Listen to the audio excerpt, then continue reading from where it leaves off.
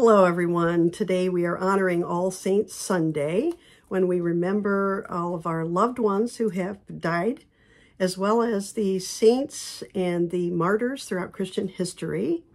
Um, while this may be a sad day for many, um, it may also be a hopeful day. Jesus promised his love and new life to be given to all who believe in him. Uh, just a heads up for those of you who join me from week to week, I'll be traveling next week to see family and friends, and I'm leaving my laptop behind. Yay!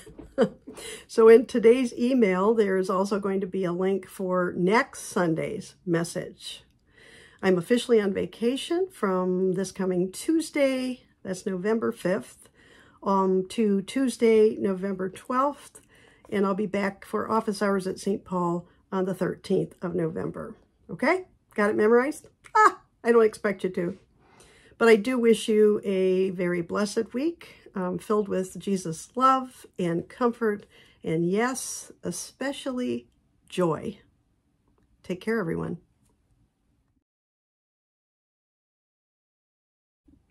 Through the raising of Lazarus, Jesus offers a, the world a vision of the life to come when death and weeping will be no more. Holy Gospel is according to St. John, the 11th chapter. Glory to you, O Lord. When Mary came where Jesus was and saw him, she knelt at his feet and said to him, Lord, if you had been here, my brother would not have died. And when Jesus saw her weeping, and the Jews who came with her also weeping, he was greatly disturbed in spirit and deeply moved. He said, Where have you laid him? They said to him, Lord, come and see. And Jesus began to weep. So the Jews said, See how he loved him. But some of them said, Could not he who opened the eyes of the blind man have kept this man from dying? And then Jesus, again greatly disturbed, came to the tomb. It was a cave, and a stone was lying against it. Jesus said, Take away the stone.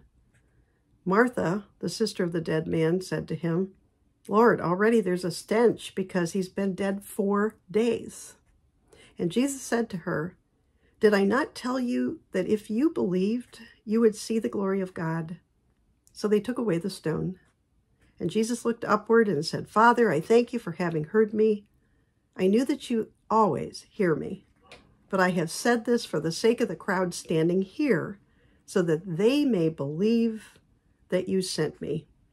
And when he had said this, he cried with a loud voice, Lazarus, come out. And the dead man came out, his hands and feet bound with strips of cloth, and his face wrapped in a cloth. And Jesus said to them, Unbind him and let him go.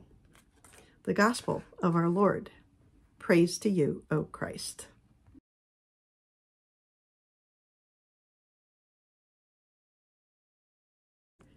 Grace to you and peace from our Lord and Savior Jesus Christ. Amen. Here we all are again on All Saints' Day. I like to think of this day as when we are connected with each other more closely. You know, when one person in our church family experiences grief, we all do. As well as that, um, at the same time, we are also connected to churches all over the world in their holding the same day of commemoration. We are joined by the experience of grief for sure. Um, we've all been there at some point. But we're also connected through hope, the hope of eternal life that we are all promised through Jesus Christ. We're also connected through the past.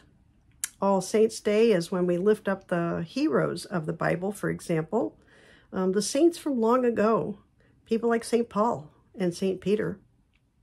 We also commemorate Christians um, who were martyred because of their faith.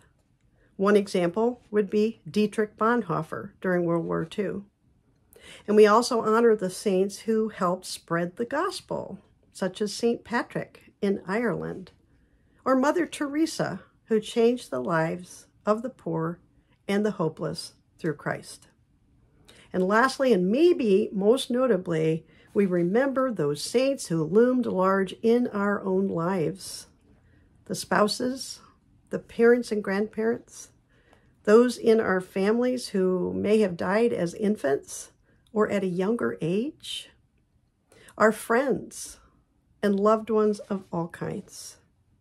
So many people from the past or recent present, all wrapped in Jesus' arms and our arms in remembrance. So, of course, it is a bittersweet day. And hopefully, through this day of remembering, we are all brought closer together through hope and comfort. We're all brought together more closely as congregations, as families, and through Christ. You know, when you think about it, um, we really do commemorate Jesus as a saint all year long, especially in his role as Christ, the one who saved us.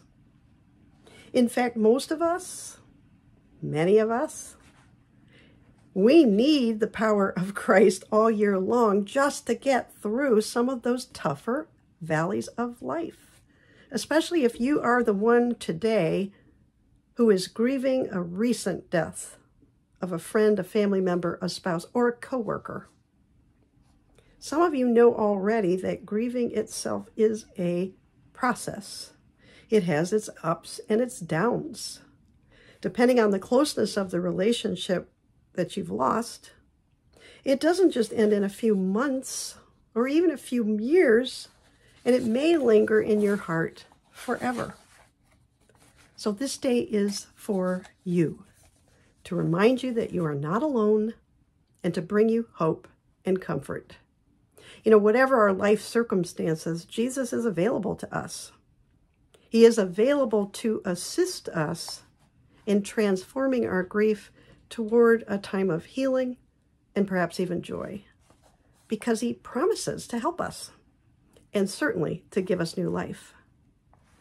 So I would say that Christ is the ultimate saint, the one that as Christians we commemorate whenever two or more are gathered in his name all year long.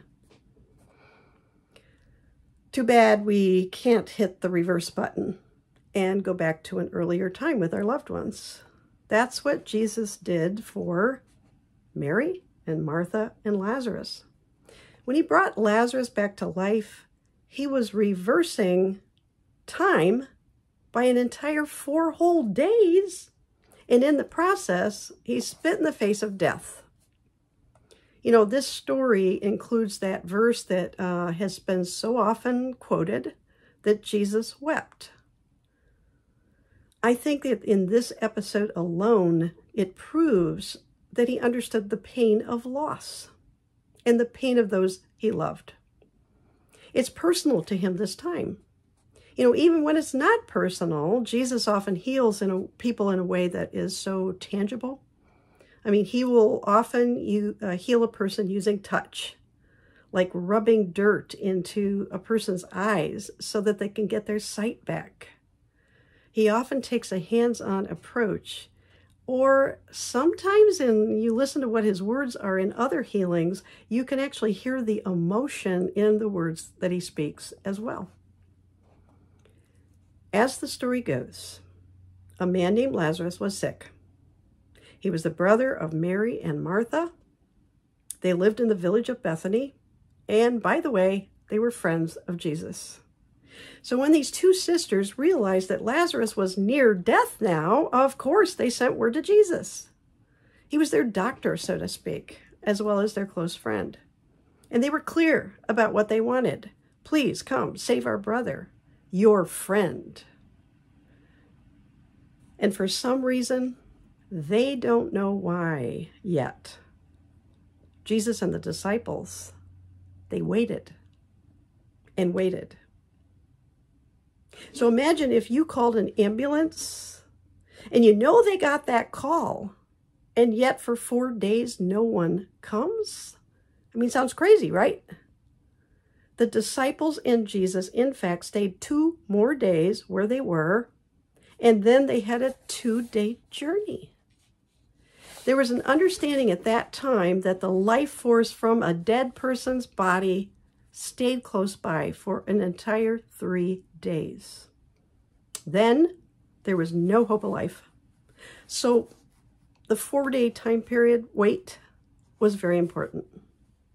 It was absolutely impossible in anybody's mind that no way, no way could Lazarus ever be retrieved, revived. He even started to smell. And poor, poor Mary. I mean, you can hear her anger and pain directed at Jesus when he finally gets there. Lord, if you had just been here, my brother wouldn't have died. But Jesus challenges her belief. You got to have faith, Mary, that through God, all things are possible. She didn't know it. But that's why Jesus took his time getting there, to do the impossible through the power of God for everybody to see, to witness. They needed to witness it. And in an instant, Jesus reverse, reverses the impact of four long days and Lazarus comes out. He's revived. He's come back to life. Now, he can't talk right at first. You know, he probably looked very alien and people were terrified when they saw him, which is one of the reasons why I love that image of him coming out of the tomb because it's so dramatic. I mean, this is a really big attention-grabbing episode in Jesus' ministry. If ever there was a movie moment, this is it. His face was still wrapped even. Jesus makes the impossible possible through God's power. If anyone was laughing now, it was Martha and Mary when they were touching their brother and their faces were lighting up. If there were any tears after Lazarus came out of the cave, they were now tears of joy. Now, here is the faith dilemma. I am yet to know someone who is clinically dead for a day, let alone four days, that then came back to life like Lazarus did. Maybe someday, who knows? So sometimes it is those of us who are left behind who have the greatest task because things don't always turn out the way they did for Mary, Martha, and Lazarus. Four days after the death of our loved ones becomes four years, and sometimes even 40 years. So we might ask, okay then, what about our loved ones? Why didn't Jesus heal them from even at a distance? As survivors, it is understandable to be like Mary, even some of the time, and say, Lord, if you had just been here, my brother would not have died. We might know, we might believe that our loved one has joined Jesus and the saints, all of those saints in heaven, but what about now? What about for those of us left behind? During those times when I have felt devastated and grieving, I have found the best comfort to be found in the Psalms that we call the laments, where people are talking back to God and they're saying, Where are you? You know, through the Psalms, people express their anger and pain to God for centuries. And God listened to them. And I think God still keeps on loving us and listening to us now, especially when we are the ones who are yelling. If memory serves, God has never hit anyone with a lightning bolt for speaking out in pain or prayer. God has big shoulders to cry on. I mean, just listen to this part of Psalm 88. Um, this is the one that we read every year on uh, Maundy Thursday. But I, O Lord, cry out to you, why do you cast me off? Why do you hide my why do you hide your face from me? Things haven't ended the way that I wanted them to end. And God hears us. This psalm and others reminds us that God is in the pit with us. Even when we might feel God's absence right now, be assured that God is there. Just as Jesus opened his heart and shared his tears with Mary and Martha during their time of distress. I think that it is during those most heart wrenching times that, as members of the body of Christ, that we can help. We can help each other. We can be present with others, and that's it. We can attend to people for whom grief is at its freshest. Because of Christ's resurrection, I give thanks, and I hope you do too, because we've been promised everlasting life. Because of Jesus in our life today, we never need to grieve alone. We have each other, we have our friends and our family members, and even if you don't have that, we have Christ who is here. He is real, He's personal with you and with me, just as He was with Mary, Martha, and Lazarus. We can have hope and comfort always, no matter how devastating things are, because Christ is always healing us, sustaining us, and continuing to dry our tears. Amen.